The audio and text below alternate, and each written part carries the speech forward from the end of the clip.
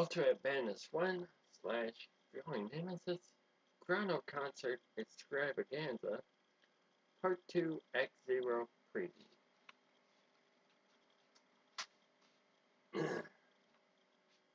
okay. It's cold in this room, so I'm wearing Mecha Raccoon for now anyway. Or at least I got its body on and its feet. But I'm not going to use its head or paws. Concert. Okay, um, this concert, the first two albums featured are more on the conflict between them as well, Ultimate Badness 1 and the Empire Fright. Well, more precisely, the grudge against Theory and Interceptor. Hello, Noodle. I know, you like the story, don't you? But, the story didn't last too much longer after fifth album because things changed. Empire Fright recorded an album uh, specifically for the kids, trying to end the conflict and become one of the biggest and best feature albums ever recorded, musically thing, it did have two songs of the years, but that's for a different time when I get into the Empire Crew concert about April or somewhere along there.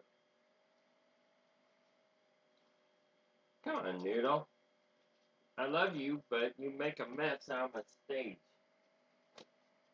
Get back here and scratch on this thing. Thank you. Uh, so, um, what were Ultra Bandits going to do with our rival group? And those space events to take on? Well, things really took a strange change for the better with them when the Krallen Force started showing up. Now, they have had encounters with the Krallen Force before, but that was way back when I was just starting the Space Defense series and didn't really think too much about the enemies of the video game series. Come on, Noodle. Get back here your little. So you don't knock the characters every which way. Anyway, uh, the Krallen Force is pretty much all the enemy crafts from all the classic games. But we decided to limit the Krallen Force to just what the Space Defense team and uh, craft to take on. In other words, they couldn't do pull a fast one use the enemy bugs from the end because we'll have the the end spacecraft on our team.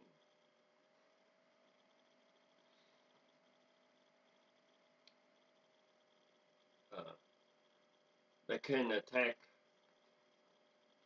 uh, Team 3 with any of the enemies from Defender, because that's something that was used in the first instance, not the third one, and so forth. So, uh, anyway, the way I had uh, Solaris 2 planned was for the Crown Force to uh, take control of that planet. Uh, Space Defense 2.3 would have to go in there and try to save them. There was a little subplot in which one of their Buffy's daughter was kidnapped and held hostage on Solaris. But there was a big problem. Some of Space Defense 2.3 was going to take a wrong turn and be stuck in one of the toughest parts of the Solaris game.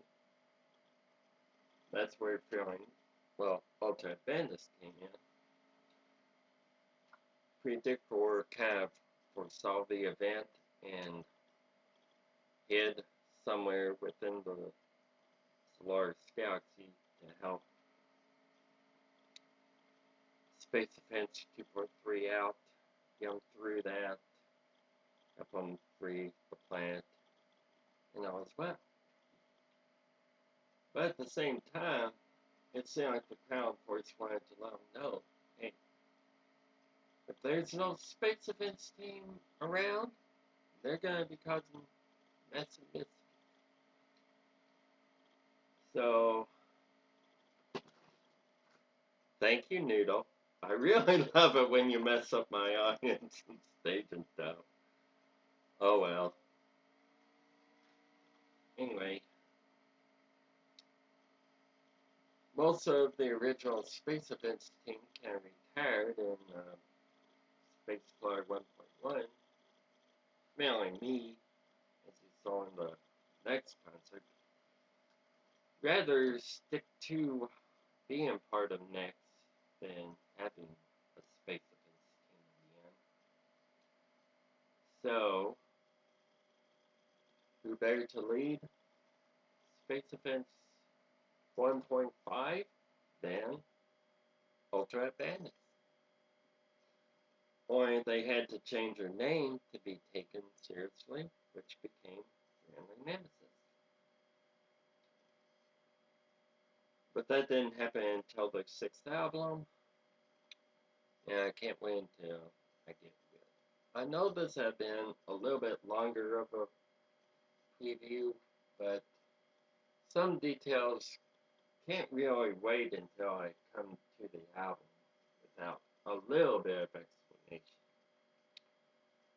So now I think I'm ready for uh, part two, act one. See you there.